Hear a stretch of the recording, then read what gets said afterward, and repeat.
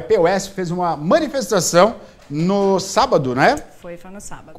Contra volta às aulas. A equipe foi lá ver como é que foi essa manifestação. Pode soltar.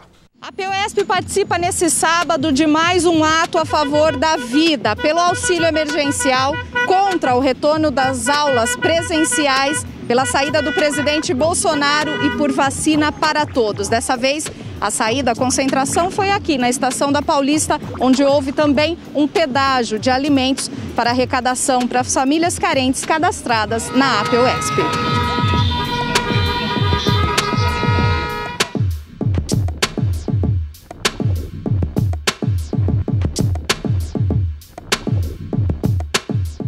Essa luta ela é uma luta que nós iniciamos desde o ano passado e que o governo no estado de São Paulo peitou, né? Agora, a gente está assistindo a cada dia o aumento, né, do número de professores infectados. Eu fechei o dia de ontem, ontem com mais de 700 infectados, né, em mais de 400 escolas. Isso é muito preocupante. E eu continuo a dizer, pelo amor de Deus, pais, não mande seus filhos para a escola, né? E os jovens que não vão, porque aprendizagem, né? A gente recupera, vidas não. Nós temos uma vida inteira para recuperar. Fala assim, agora tem um outro movimento que fala o seguinte, ah, a, como é que fala? O futuro está próximo. Ótimo, o futuro fazemos sempre.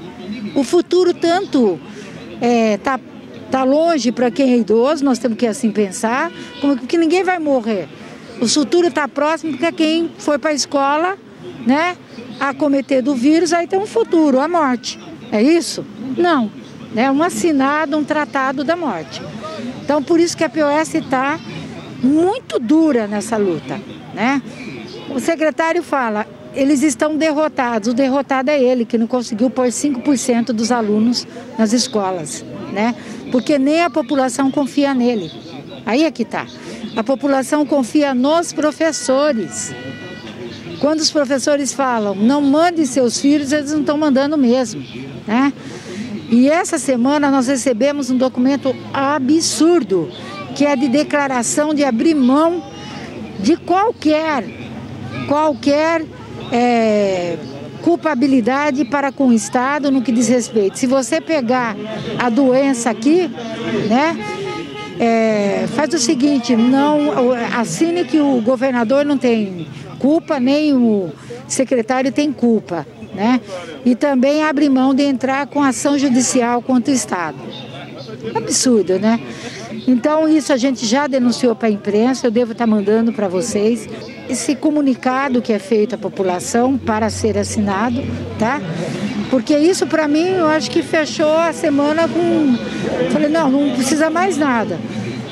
A pessoa não tem direito a defender a vida, também não tem direito a culpar ninguém e ela também não tem direito a recorrer de nada. O que, que ela é então? Nada.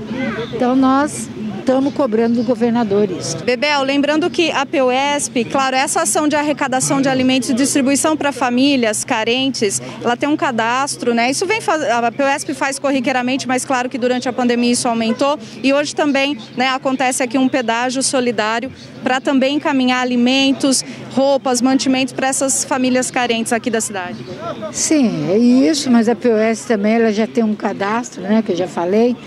A gente tem recebido, nós vamos marcar a entrega dessas cestas, né? É, no bairro, nos bairros mais carentes, preferencialmente lá, né? É, e quem está se cadastrando é o que porque está precisando muito mesmo, né? A gente pede isso, inclusive. Então a gente vai estar tá entregando, sim, essas cestas. Bebel, só lembrando também que essa semana a gente divulgou no programa, né, duas verbas que foram destinadas aqui para o município para reforma de duas escolas e também para Santa Casa. Queria que você falasse um pouquinho dessas verbas também. Então, foram 200 mil, 100 mil para a escola é, Abigail Grilo e outros 100 mil para a escola Afonso Fioravante. E mais 358 mil para a Santa Casa de Misericórdia aqui de Piracicaba, porque são, é nas, nas Santas Casas que tem o atendimento da população, gente, porque ele atende 80, mais de 80%, 90% dos usuários do Sistema Único de Saúde. Por isso a gente mandou para Santa Casa. Faço isso de peito aberto, como vou fazer. Ah, e para a ONG Casve também, mandei de 75 mil e mais uma outra ONG também, né? Para a gente poder ajudar também, né? É essa população que fica sem direito nenhum, que são LGBTQIA+, ter uma política instituída na ONG Casve, é importante ouvir até o Anselmo, né? Ele tem lá todo um uma trajetória que também cobrir, que ele mostra pra gente como é feito o teste, tudo certinho, tá? Muito legal. Assim, são, acho que são coisas necessárias, são políticas necessárias, né?